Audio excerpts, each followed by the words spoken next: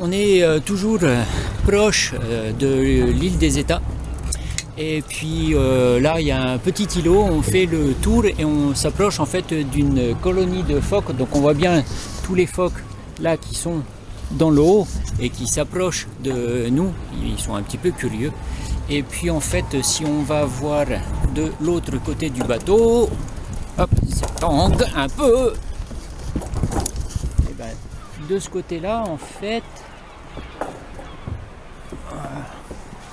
voilà, ici sur, euh, ce, sur le côté de cet îlot, voilà, on voit, enfin moi je les vois et puis surtout on les entend, les phoques qui sont là-bas.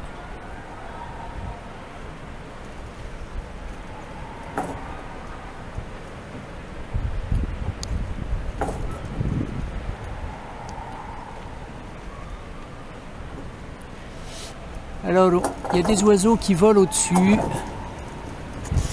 Et euh, bon, on avait une paire de condors aussi qui, qui volait au-dessus. Mais là, j'ai essayé de regarder à la jumelle et a priori, on a euh, des caranchons noirs euh, qui, qui nichent aussi par là et qui, a priori, sont toujours un peu proches des colonies de phoques et de de pingouins ou de manchots euh, parce qu'ils se nourrissent aussi des restes, euh, des restes placentaires, euh, des œufs, etc. etc., etc.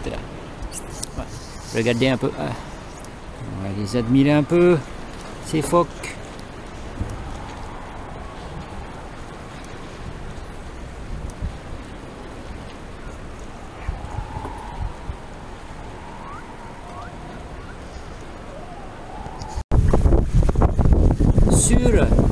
la plage qu'on voit au fond, il y a des bouées. Notre capitaine Igor, il aime les bouées. Quand je parle de bouées, je parle de ça. Voilà. Des, euh, grosses bouées comme ça. Des parbattages, des, enfin, bref, des grosses bouées. Et de loin, on a vu qui ressemblait deux donc sur cette plage là donc on s'approche et puis on va faire une sorte de, débarquement commando, opération bouée. Fait beau encore aujourd'hui, on est super gâté, pas trop de vent, un petit peu trop de vent pour, euh, aller sur la partie ouest comme on voulait faire, donc on a rebroussé chemin et puis on repart, on repart vers l'est, mais c'est pas grave, euh, voilà, c'est les aléas de la vie maritime. Allez, on va se préparer, on va ancrer et puis on va aller à terre avec la petite annexe.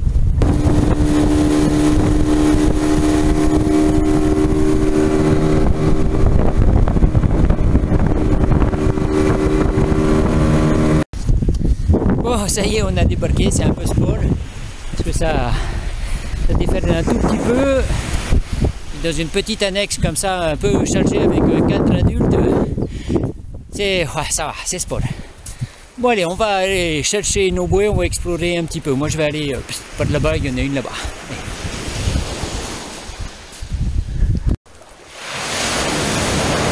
J'ai un vautour ici.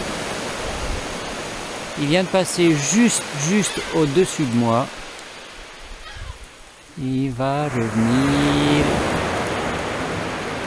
voilà. Je bien mon petit vautour. Donc euh, vautour à tête rouge. On a les mêmes sur euh, Navarino. Là on en a vu quand même quelques-uns. Au-dessus de la colonie de phoques euh, qu'on a vu là, ben, il y avait et des condors, et des vautours, et des caranchos. Ils repassent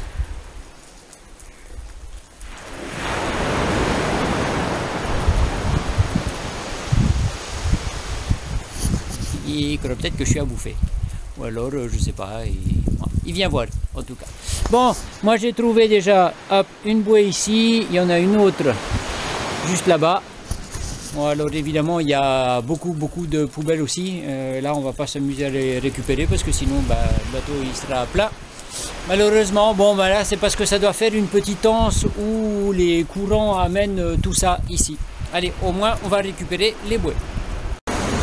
Alors j'en ai deux autres vautours qui sont arrivés. Il y en a un qui est posé juste là. Les deux autres qui sont juste au-dessus. Ça tourne. sais pas si lui il a trouvé quelque chose à bouffer ou si c'est un nid ou quoi. Sais pas. Et il est juste ici.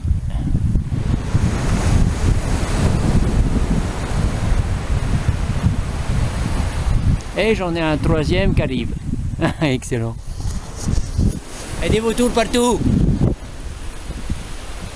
C'est moi qui t'attends. Regardez ici, donc on a du, de la merdasse, hein, du plastique. Et au bout du plastique, voilà, c'est une corne de cerf avec la tête qui est par ici. Le corps là. Alors il est déjà euh, super décomposé. Alors je vous avais raconté des conneries, c'est pas du cerf de Virginie en fait qui ont été introduits, c'est des cerfs euh, Elaf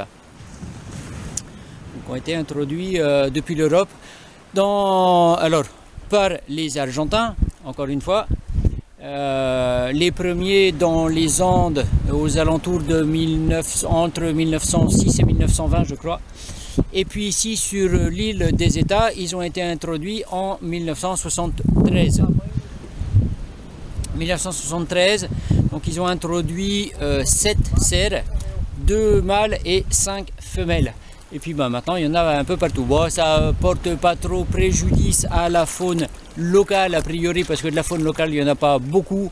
Mis à part, euh, j'ai lu une étude où ça pourrait quand même poser des problèmes sur les espèces de loutres qu'il y a ici, les weying. Euh, euh, apparemment, ça perturbe un petit peu l'environnement des, des donc des, loutres. Ça gêne leur lieu de reproduction et le lieu de vie, on va dire. Voilà. Euh, sur l'île aussi, normalement, il y a des chèvres, des chèvres qui ont été introduites dans les années 1850, donc avant même euh, la, mise en place ici de la prison, puisqu'il y a une prison qui a été euh, mise ici mais ça, je vous en parlerai un peu plus tard, puisque normalement, on va aller ancrer dans une petite baie qui est un petit peu plus à l'est, où on va être juste à côté de la prison numéro 2 qu'il y a eu. Allez, Igor, en train d'essayer de sortir le cadavre de cerf. Je lui ai conseillé de pas trop toucher avec les mains parce que les cadavres décomposés, j'en ai déjà sorti de l'eau et euh, c'est pas très agréable, pas très facile.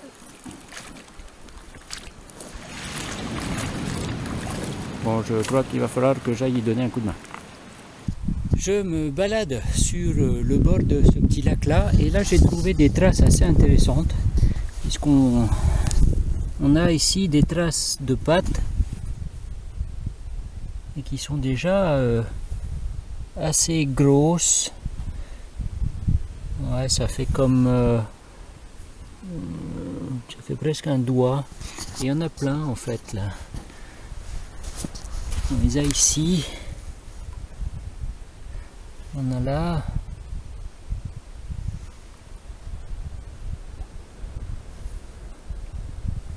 Il y en a tout plein par là.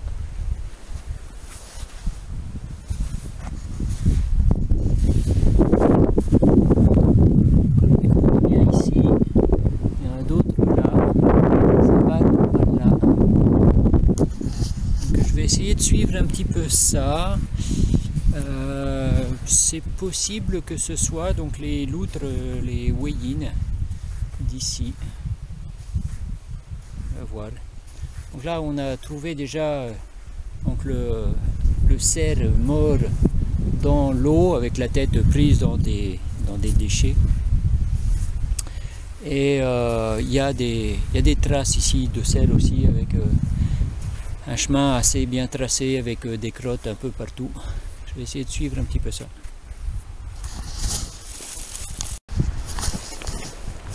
Bon, on a encore une fois changé de baie. On devrait euh, certainement dormir ici ce soir, peut-être un petit peu plus loin. Il y a une petite, euh, un petit mouillage sur le côté. Donc ici, on a des montagnes qui sont différentes. Regardez un petit peu les vagues que font les lignes d'arbres. C'est assez original quand même.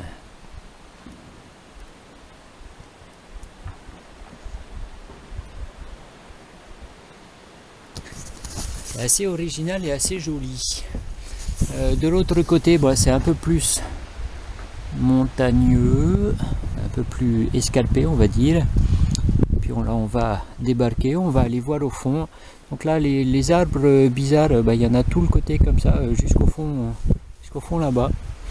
On va aller débarquer. Normalement, on peut rejoindre euh, un fjord qui vient depuis le côté nord de l'île. Là, on est sur le côté sud. Euh, a priori, c'est pas très très loin, donc on va peut-être essayer de faire ça un petit peu. Euh, tout en cherchant toujours si on a des serres. On aimerait bien récupérer un petit peu de serre. Alors on a trouvé un sentier, voilà, qui est marqué comme ça. Et puis euh, bah, on a un autre piquet qui est là-bas.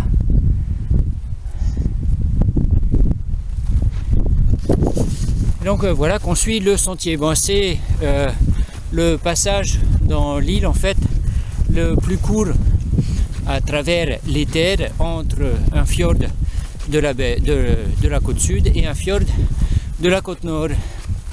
Et puis euh, donc on va arriver euh, sur euh, ce fjord de la côte nord où en fait il y a eu la prison. Il y avait une prison donc ici sur l'île des États. Ça a été fait, donc ça a été occupé un peu ça en fait à la base. L'île euh, des États a servi en premier de, donc de prison à partir donc de 1884 dans la petite baie San Juan de Salvación, euh, quelque chose comme ça. C'est resté là-bas pendant 5 ans et ça a été bougé ensuite dans l'autre baie sur laquelle on va arriver qui s'appelle Port Cook en, honneur au navigateur Cook. Et puis donc la prison est, est, restée à Port Cook jusqu'en 1902. Donc voilà, 1902, euh, après ils ont dit bah voilà, c'est trop dur euh, pour, euh, pour tout le monde ici, que ce soit euh, prisonnier ou, ou même gardien. Et ils ont évacué tout le monde apparemment. Alors j'ai lu un petit peu l'histoire de ça. au moment de l'évacuation, il y avait 51 prisonniers, je crois, et qui se sont mutinés. Ils ont volé des bateaux, ils ont volé trois bateaux. Ils ont essayé de se barrer un petit peu. Et puis en fait, ils ont fait naufrage. Il y en a, il n'y a qu'un bateau, je crois, sur les trois qui a réussi euh, à arriver quelque part. Enfin bref, sur 51 personnes, il n'en restait que 7 de vivantes à la fin. Et puis ils sont allés finir euh, leur jour en prison à Ushuaia. Puisque comme ils ont dit que c'était trop difficile ici, euh, les conditions de vie, et eh bien en fait la prison ils l'ont ouverte à Ushuaia les gens ils sont allés euh, terminer leur vie là-bas. Ah, un peu plus grand, un peu, un peu moins difficile peut-être de conditions. Bon, ici, pour le moment, nous, on a du bol. Là, il fait beau.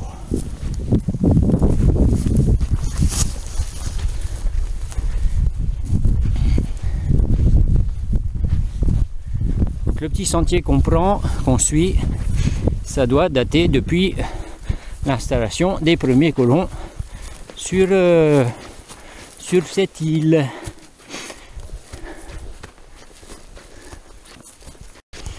Et voilà, quelques minutes seulement. Et on arrive de l'autre côté. Dans l'autre baie. Donc celle-là, c'est Port Cook. Alors, a priori, euh, il y a quelques restes ici. Il va y avoir euh, quelques restes aussi euh, dans la baie de San Juan. quand les premiers prisonniers, puis les militaires, parce que c'était les militaires qui étaient venus, donc quand ils sont arrivés, ils ont construit un phare du côté, donc, du côté nord, sur San Juan. Ensuite, ils sont venus là. Et apparemment, ici, normalement, on peut trouver euh, quelques restes, vraiment pas grand chose, quelques restes et puis le cimetière. Donc on, va bien voir si on trouve ça. À ma droite, ici, il y a des piquets avec des cordes. Donc c'est possiblement le cimetière, on ira voir ça. Et puis de l'autre côté, en fait, juste ici, il y a un reste de maison. On va aller voir aussi. Donc le sentier, on voit bien que il a été quand même pas mal euh, usité. Il est super bien marqué. Bon, euh, d'un autre côté, euh, la matière qui est au sol, c'est une espèce de c'est un peu spongieux quand même et euh, ça, ça marque assez, assez facilement. Donc euh, il suffit de passer plusieurs centaines de fois au même endroit et puis ça marque bien. Bon, on a trouvé quelques restes, a priori ça c'était les latrines.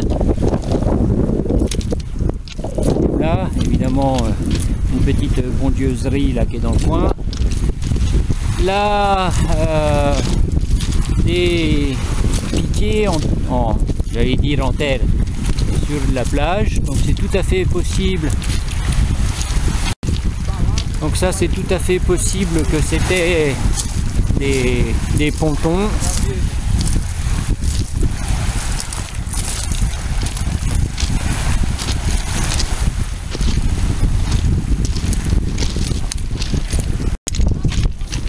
on a ici reste de bâtiments.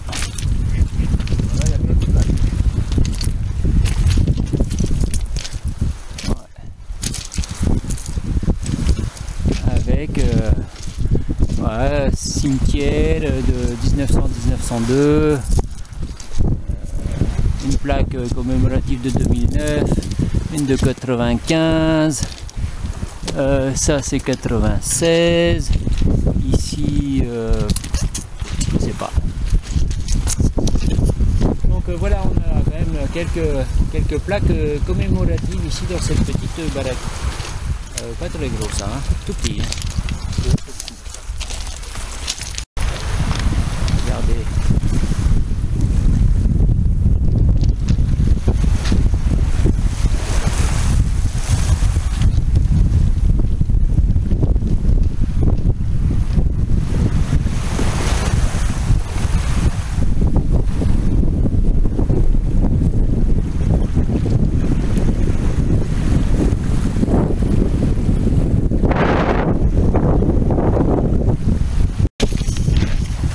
C'est dingue à quelle vitesse ils arrivent euh, pour euh, nous regarder un petit peu ces volatiles.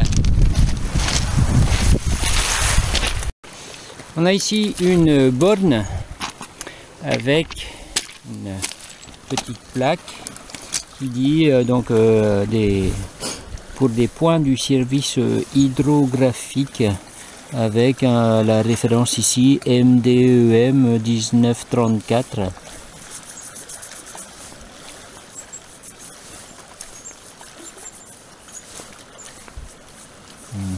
va mieux voir comme ça. Un peu de bave de chauve.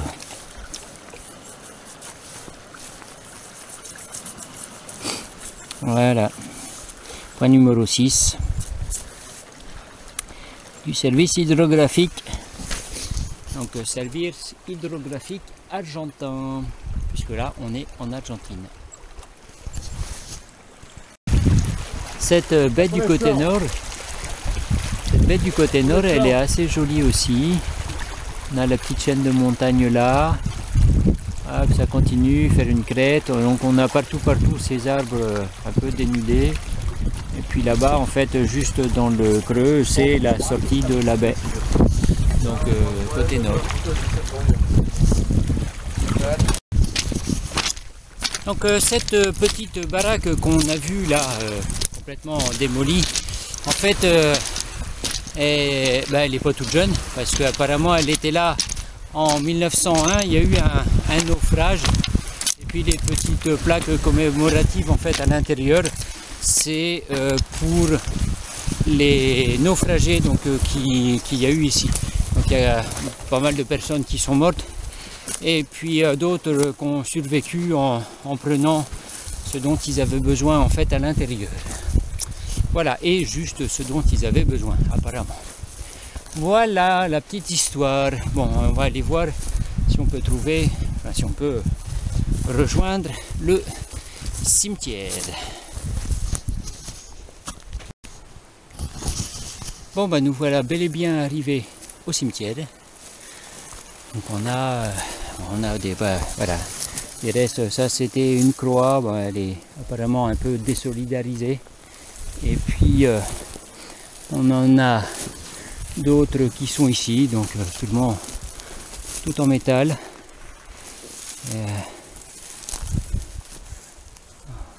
1900 euh, et puis on a donc euh, des, les autres qui sont, euh, qui sont éparpillés un petit peu ici. Voilà, voilà. Bon, ça fait longtemps qu'ils ont plus mal aux dents, les gens ici. Hein.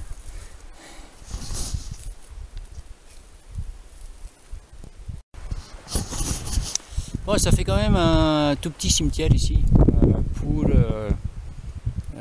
10 de 80 de 1885 à 1902, pour 17 euh, ans, non 84, donc 18 euh, ans d'occupation de cette île en tant que prison, ça fait un tout petit cimetière. Euh, je ne sais pas s'il y avait que... Peut-être qu'il n'y a pas beaucoup eu de morts. Il ne devait pas y avoir non plus beaucoup, beaucoup de prisonniers à ce moment-là. Mais enfin, ça fait petit quand même parce qu'apparemment il y a des prisonniers qui sont morts, mais il y a aussi des gardiens, que les conditions de vie étaient euh, très difficiles ici. Alors euh, peut-être qu'il y a que les gardiens qui sont enterrés, puis que les prisonniers étaient laissés au vautour. il est méchant le chauve. Mais non, faut donner à manger aux petites bêtes qui volent ici, parce qu'elles sont normales. Elles sont endémiques d'ici. Oh, regardez, la mourtilla qui est un peu plus mûre que celle que j'ai fait voir dans le défi de Julien. Et puis aussi ça, voilà, tiens, on en profite. C'est du michai avec euh, les des baies de michai qui sont pas mûres non plus, mais qui sont un petit peu plus développées que de l'autre côté de l'île.